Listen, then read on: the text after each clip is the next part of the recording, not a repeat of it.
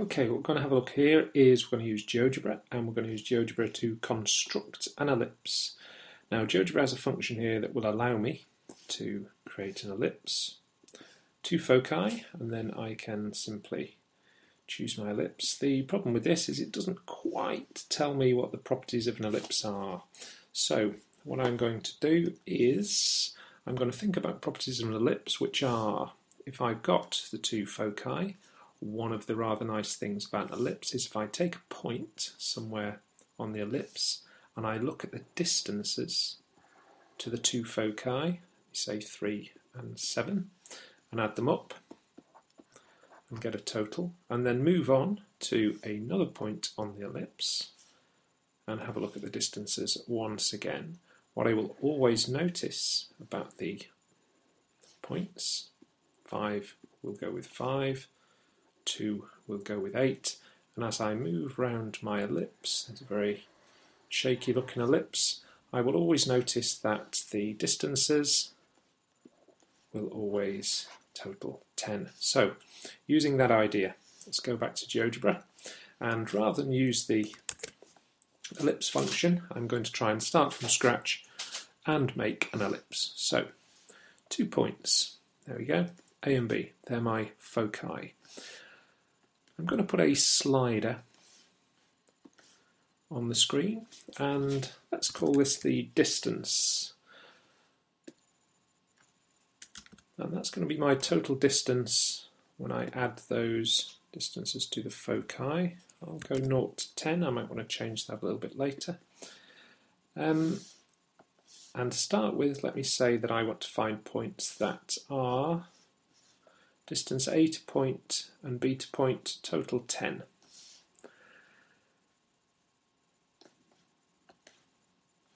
I'm going to put a second slider on and this one is going to be my distance to point A. And since I don't need negatives I will set that at 0 we go to 10 which should be plenty. Put that on the screen and to find this distance from point A, I know that I will be on a circle. So let me draw a circle, point A, and the distance from point A will be A. Okay, now I need to find the point on this circle that will be the distance that will make up my grand total of 10, which in this case will be 5.2. So I'm going to draw a second circle this time I'm going to center it on B, but rather than any particular radius, I shall choose my total distance minus the A distance from A that I've already got. And that hopefully will give me a intersection point. That will be the correct distance from A and B. Let me just mark that point.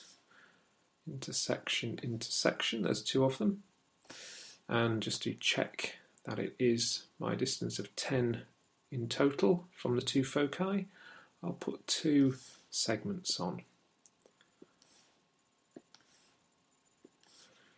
There we go, and what I will now do, using object properties, I will just have a look. Segments, if I show a value on those segments on my label. That will be good. Perhaps if I colour them a little bit thicker than they are at the moment so I can see them well. And my circles, well, actually my circles, I think what I'll do is I'll just let them fade a little bit into the background. Uh, points, points, I think. I'll not bother showing their labels, I'll just see my points and in fact let me have another quick look. I think for my points C and D I'll just make those a little bit more prominent, change their colours, their styles, and here we have it. So I have my circles 4.8, 5.2, grand total of 10.